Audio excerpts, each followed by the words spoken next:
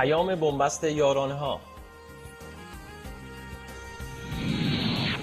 ارگان دولت ایران. فراخان انصراف در روز ثبت نام یارانه ها روزنامه حکومتی جام جمع الله صافی. کسانی که فقیر شرعی نیستند یارانه نگیرند. روزنامه حکومتی اعتماد. سخنگوی دولت. ثروتمند هم نیستید از یارانه ها انصراف دهید. روزنامه حکومتی ابتکار مراجع حکومتی. ثروتمندان یارانه نگیرند. ورود قوم به موضع هدفمندی. ارگان باند معتلف رسالت.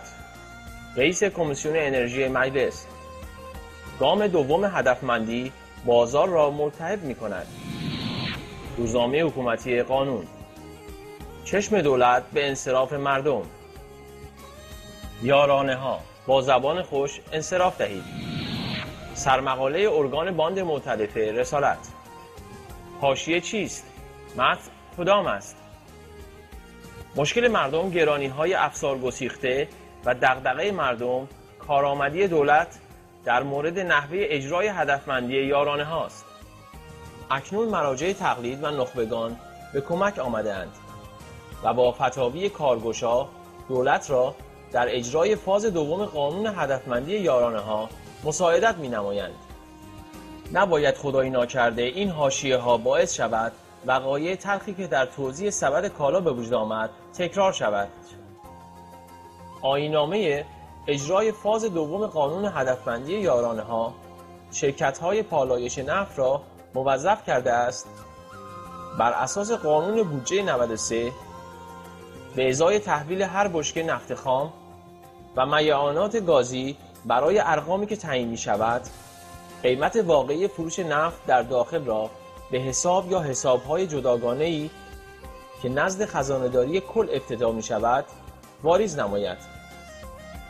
اما در آینامه اجرایی فاز دوم قانون هدفمندی یارانه هم اشاره به آن نشده است. فلذا محاسبه واقعی فروش نفت در داخل مسکوت مانده است.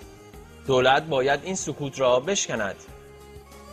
تمامی یک میلیون بشکه نفتی که شرکت ملی نفت تحویل پالایشگاه ها برای تولید حداقل 17 فراورده نفتی بر اساس بشکه 18.5 دلار تحویل می شود در داخل مصرف نمی شود بلکه قسمت اعظم این تولید با قیمت های جهانی به کشورهای دیگر صادر می شود این مابود تفاوت می تواند به عنوان یکی از منابع تعیین کننده اجرای فاز دوم قانون هدفمندی احسا شود تا مشکلات تأمین اعتبار برای اجرای فاز دوم حل گردد.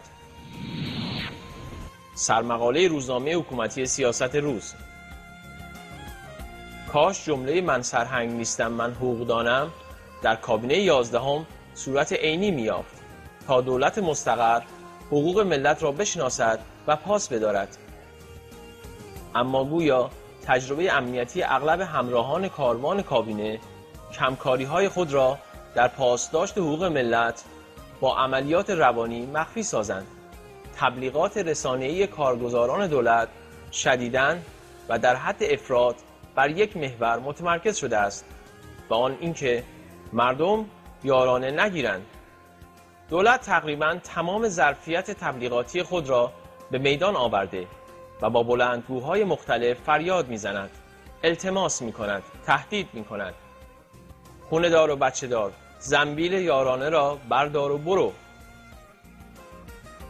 این تبلیغات مفرد حتی به تنز کشیده شده و احتمالا کارگزاران تبلیغاتی امنیتی دولت هم با دریافت پیامک ها و متلک های مختلف در پاسخ به بلنگوهای فوق خنده افتادند برجسته سازی مسئله یارانه تا حدی که به خیال خود ملت را به خلصه ببرند امر مطلوب و واجد افتخاری برای کابینه نیست. روزنامه حکومتی اعتماد. دولت پل یارانه ای را خراب نکند. دولت حسن روحانی از شهروندان ایرانی حتی اگر ثروتمند نباشند می‌خواهد جوانمرد باشند و به کمک دولت بیایند و از دریافت یارانه نقدی اجتناب کنند. اما دولت یازدهم در کنار این حرفهای شیرین و دلنشین یادش نرفته است که به شهروندان اختار دهد که اگر این کار را انجام ندهند دولت با اطلاعاتی که در اختیار دارد می تواند در کمتر از ده روز افرادی که واجد شرایط برای دریافت یارانه نیستند را شناسایی کند و آنها را از چرخه یارانه بگیران بیرون کند آیا این تنها راه باقی مانده برای ادامه موضوع هدفمندی یارانه هاست؟ پیش از این برخی اقتصاددانان تاکید کرده بودند که دولت می تواند و باید با هدف حفظ انسجام ملی پرداخت یارانه نقدی به میزان فعلی را ادامه دهد و برای جبران آن قیمت های انرژی را تغییر دهد تا دچار کسری بودجه نشود. اما این توصیه اقتصاددانان گویا در دولت با اقبال مواجه نشده است و دولت قصد دارد به هر شکل و با عنوان کردن برخی اهداف گروهی از یارانه بگیران را حذف کند. پرسش این است که دولت انتظار دارد چه درصدی از شهروندان یارانه نگیرند؟ 25 درصد 50 درصد 75 درصد به دولت توصیه می کند افراد نکرده و برای ارقامی که به مرور زمان کوچک و کوچکتر می شوند فاجعه درست نکنند.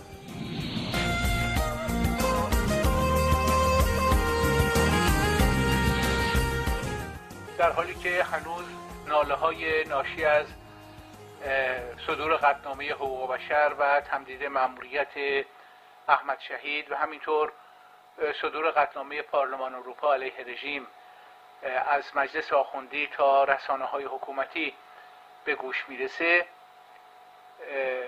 صدای پرسوز و گداز دیگری رو هم میشنویم که به این ناله ها اضافه شده و حتی از اونها پیشی داره می‌گیره.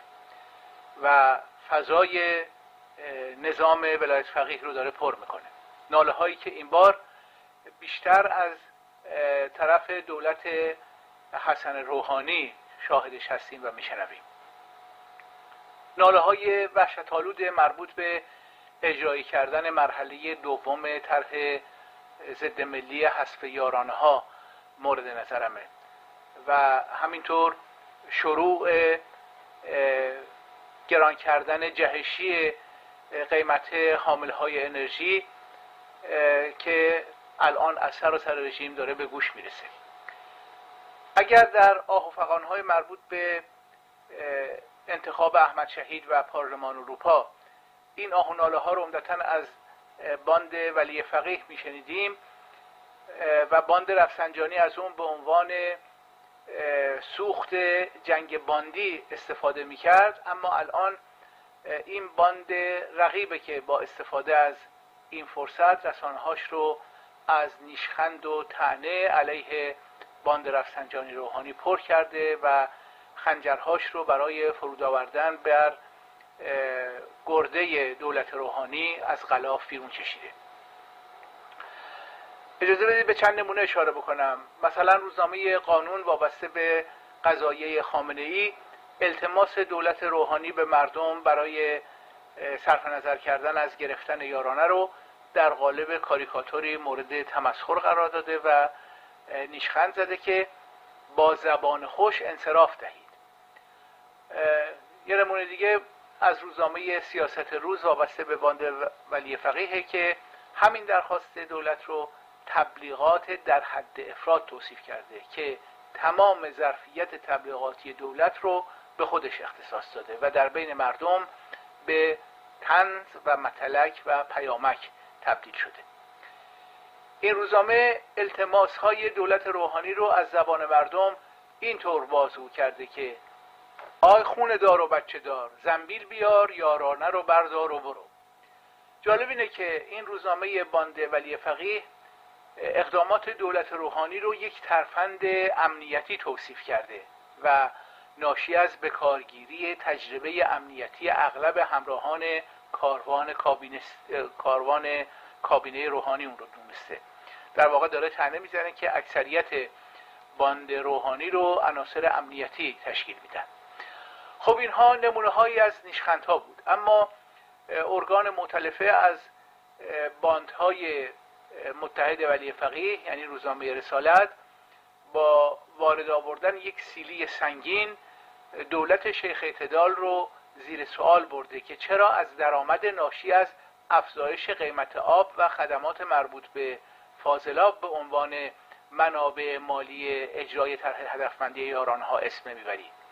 و پرسیده که این پول ها و درآمد ناشی از ما به تفاوت میلیاردی نفتی که به اسم مصرف داخلی بشکه 18.5 دلار حساب می‌کنی اما به نرخ جهانی در خارج از ایران به فروش میرسونی کجا میده؟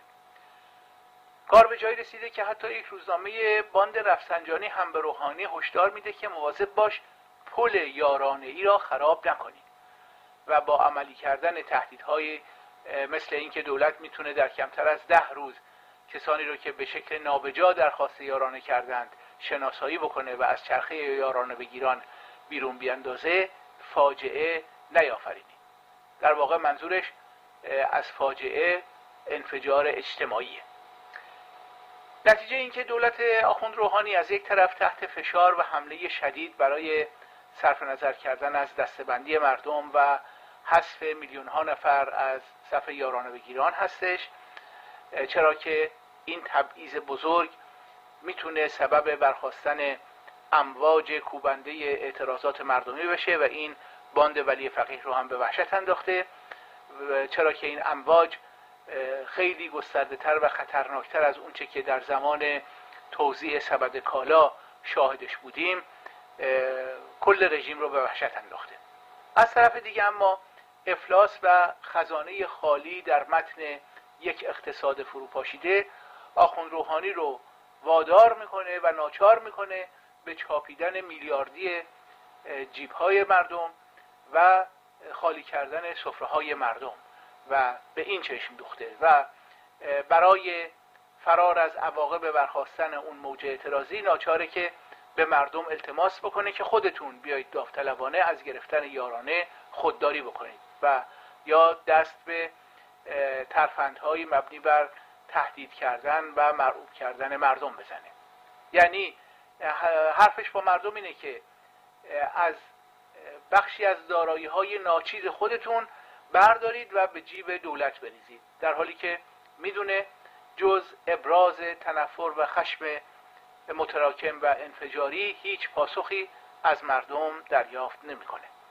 پیام این تنگنا و بنبستی که نه فقط دولت آخوند روحانی بلکه تمامیت نظام ولایت فقیه رو فرا گرفته و گرفتار کرده در یک کلام اینه که ارتش عظیم گرسنگان و بیکاران و جوانان آسی به جای اینکه به رژیم اجازه چپاول از دارایی ناچیز خودشون رو بدند حکم مرگ تاریخی نظام پرجنایت ولایت رو امضا کردند